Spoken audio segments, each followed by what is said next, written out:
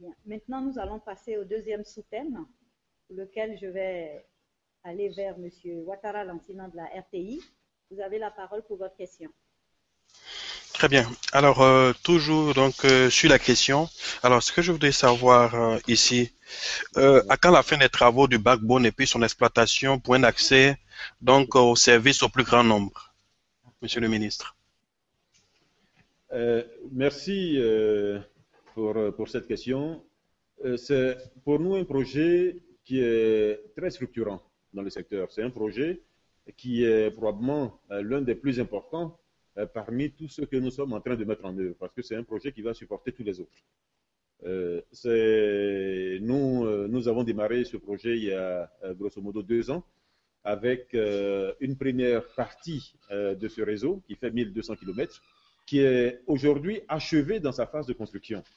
Nous sommes aujourd'hui en train de réceptionner le, le, travail qui a été réalisé, donc le chantier qui a été, réalisé. Nous sommes en train donc de le reciter, euh, comme on dit, morceau par morceau, euh, en validant avec euh, les techniciens, avec le maître d'ouvrage, le maître d'œuvre, etc., le travail qui a été fait sur ce premier tronçon de 1200 km. notre objectif est d'achever dans les 3-4 prochains mois cette opération-là. ensuite, il restera à mettre en œuvre ce qui s'appelle le point de coupure, de euh, évidemment euh, la connexion de la fibre euh, sur chacun de ces points de coupure, éventuellement les pylônes là où il y a besoin de, mettre des pylônes pour que cette partie du réseau, du, réseau, donc du backbone, puisse commencer à fonctionner.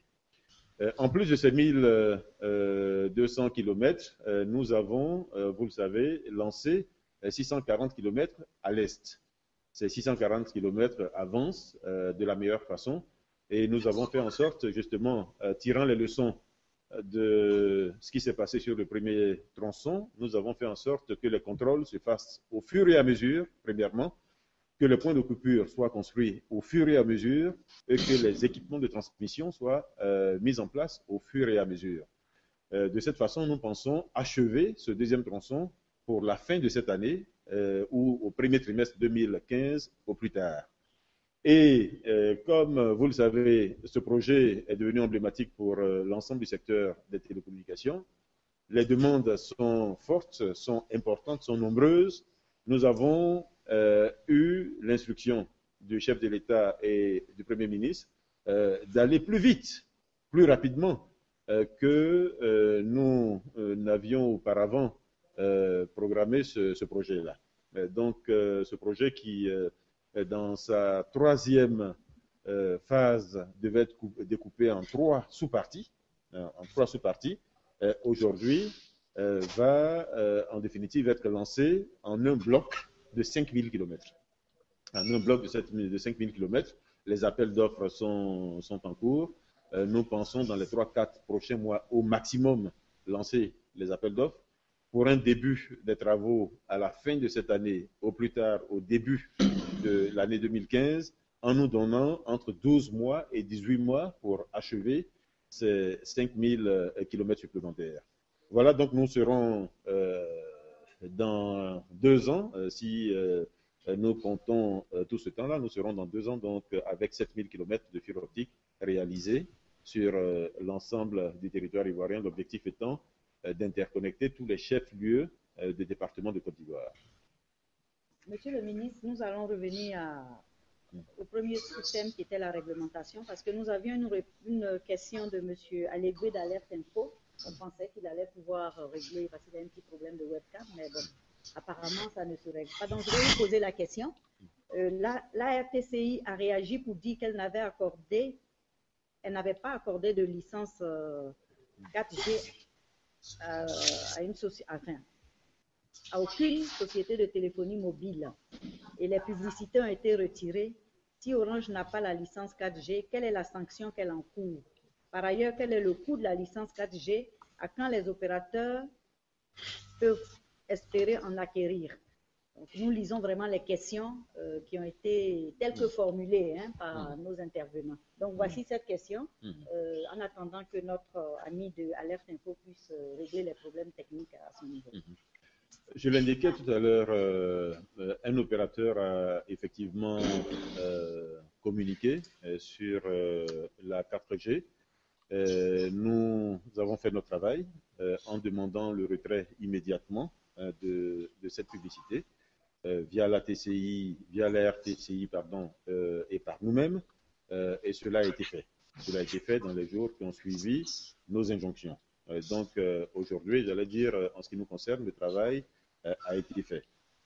nous avons même alerté les structures en charge du contrôle de la publicité, parce que dans un sens, cette communication qui était faite pouvait être trompeuse vis-à-vis -vis des clients. il s'agit pour ces organes donc en charge de la régulation euh, de la publicité en Côte d'Ivoire, euh, là aussi, euh, de jouer leur partition. en ce qui nous concerne, nous pouvons nous référer à nos textes, à nos textes qui, par exemple, sanctionnent l'utilisation abusive de, certaines, de certains moyens, notamment des fréquences, des fréquences quand elles ne sont pas autorisées. donc, j'allais dire, ce travail technique sera fait et s'il y a lieu de prendre des sanctions vis-à-vis de l'opérateur concerné, ces sanctions euh, seront prises. Mais sur la base, j'insiste, sur la base de l'utilisation non autorisée euh, de ressources spectrales. Euh, pour la partie communication, pour la partie publicité, d'autres organes ont cette mission, ont cette charge, et nous leur laissons donc cette tâche-là.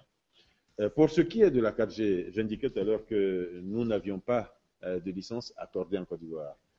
Euh, il ne faut pas voir dans cette réponse un refus d'avancer, euh, parce que nous l'avons entendu autour de nous. Il ne s'agit pas de cela. Nous sommes dans un secteur, premièrement, qui est régulé. nous sommes dans un secteur avec différents opérateurs. il est important que tous ces opérateurs-là travaillent sur un pied d'égalité.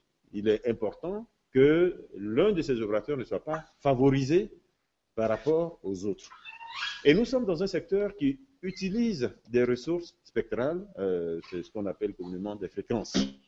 Et il est bon euh, que ces fréquences-là soient attribuées en fonction des services qui sont fournis. Et ils soient attribués sur une base qui permet à tous les opérateurs autorisés à fonctionner de la meilleure façon techniquement, donc à fournir le service de la meilleure façon. Nous ne pouvons pas, en l'état actuel euh, de notre euh, environnement, de notre écosystème des télécommunications en Côte d'Ivoire, donner euh, une licence 4G à certains opérateurs et ne pas la donner à d'autres qui pourraient en faire la demande ou qui seraient intéressés à la commercialiser. Euh, au-delà de tout cela, il y a un processus. Vous avez tous assisté il y a deux ans au lancement de la 3G en Côte d'Ivoire. Et vous avez vu que la décision n'a pas été prise comme ça du jour au lendemain. Il faut une communication en Conseil des ministres. Il faut euh, euh, une décision du Conseil des ministres. Il faut ensuite définir ce qui s'appelle la contrepartie financière de la licence. Il faut que cette contrepartie financière soit payée. Il faut ensuite rédiger des cahiers de charges pour chacun des opérateurs avant de permettre qu'ils exploitent donc le service. En l'espèce, cela n'avait pas été fait, ce qui explique la réaction que nous avons eue. Merci. Donc, nous revenons au deuxième sous-thème qui est l'accessibilité. Euh, monsieur le ministre, euh, je vais vous poser une question de Madame Edith Brou, qui était une de nos invitées. Malheureusement, qui est, alité depuis ce matin pour cause de palu. Alors, Madame Edith Brou vous demande pourquoi le matériel informatique et technologique ne sont-ils pas soumis à une des taxes comme au Sénégal, qui est le fer de lance de l'innovation digitale en Afrique de l'Ouest? Je ne ferai pas euh, de, classement entre les pays d'Afrique de l'Ouest. Euh, donc, je ne me permettrai pas de commenter le classement qu'a fait Mme Brou. Euh, ce que je pourrais dire, c'est qu'il est possible effectivement d'améliorer l'accessibilité, de faciliter l'accès des populations aux terminaux, euh, donc euh, qu'ils soient tablettes, qu'ils soient euh, ordinateurs ou même qu'ils soient smartphones, en défiscalisant. C'est notre vœu, euh, je peux le dire à tous les internautes de, Côte d'Ivoire, c'est notre vœu, c'est notre souhait. Euh, nous travaillons dans ce sens avec le reste du gouvernement. Euh, cette décision, quand elle sera prise, ce sera une décision de l'ensemble du gouvernement, une décision collégiale, une décision qui prend en compte les exigences ou les contraintes du ministère en charge de la procédure ici, mais également les contraintes du ministère en charge du budget, ministère en charge de l'économie et des finances, etc. etc. Voilà euh, ce qui peut expliquer que cette décision jusqu'à présent n'ait pas été prise. Nous y travaillons, c'est l'assurance que je peux donner euh, aux uns et aux autres. Comme vous l'avez indiqué au début de cette euh, nous avons également collecté un certain nombre de questions auprès des internautes. Donc, dans la même foulée, il y a M. Kamagate Zakaria, qui est internaute donc, à travers le du gouvernement quelle politique envisage l'État pour permettre aux ménages d'accéder avec facilité et à coût réduit aux outils informatiques il y, a, il y a déjà euh, les mesures de digitalisation dont, euh, dont nous parlions il y a, il y a quelques minutes, euh, qui, je l'espère, vont pouvoir être mises en place le plus rapidement possible. La deuxième chose euh, à faire, c'est ce que nous faisons euh, par ailleurs, c'est favoriser la concurrence et faire en sorte que le marché soit le plus transparent possible. Euh, cela fait, en général, sur tous les marchés, que ce soit celui-là ou sur d'autres marchés, celui de la tomate, celui de la chaussure, etc., cette compétition, en général, tire les prix vers les euh, donc, euh, euh, en mettant en place un cadre qui favorise une bonne concurrence, une concurrence réelle entre les opérateurs, nous nous donnons les moyens, d'une façon ou d'une autre, d'atteindre cet objectif-là, donc d'avoir des prix qui sont relativement supportables par les clients. la troisième chose qui, jusqu'à présent, a été relativement difficile pour les utilisateurs ivoiriens, euh, c'est l'accès au crédit euh, ou la possibilité d'acheter euh, un ordinateur à un moment donné. Autrement dit, quelqu'un peut parfaitement supporter, par exemple, d'acheter un ordinateur en payant 5 000 francs ou 10 000 francs tous les mois, mais n'est pas en mesure d'acheter un ordinateur qui coûterait en une fois 400 000 francs, 500 000 francs avec la connexion Internet. Euh, donc, euh, nous travaillons, nous avons travaillé avec des banques euh, qui, nous ont soutenu, qui nous ont soutenus de ce point de vue-là, qui sont prêts à nous accompagner dans ce projet donc, qui s'appelle Un citoyen, un ordinateur, une connexion. donc, ces banques qui sont prêtes à apporter du crédit, à apporter les financements qui permettront aux Ivoiriens d'acquérir un ordinateur et de le payer en 12 mois, en 24 mois, euh, voire même davantage euh, s'ils se mettent d'accord avec, euh, avec leur banque. C'est la principale contrainte. nous y travaillons. Mais nous avons surtout voulu, pour revenir à ce projet-là, nous avons surtout voulu que ce projet-là ne soit pas un projet du gouvernement. le gouvernement a beaucoup de capacités, a souvent le dos très large, mais il faut savoir que nous sommes dans une économie libérale. Pour certaines choses, nous privilégions l'intervention du secteur privé.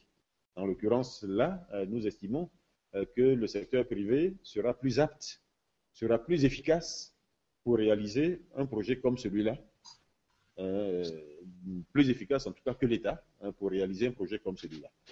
donc nous continuons de faire appel au privé, à la fois aux, aux financiers aux équipementiers, euh, voire même aux ISP, donc aux fournisseurs d'accès Internet.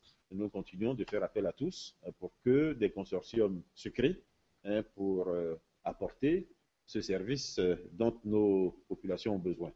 nous, États, continuerons de communiquer hein, sur le besoin et de faciliter, évidemment dans la mesure de nos possibilités, par les mesures de défiscalisation dont j'ai parlé tantôt. Nous continuerons donc d'accompagner cette volonté euh, d'accès à l'équipement pour euh, tous les Ivoiriens.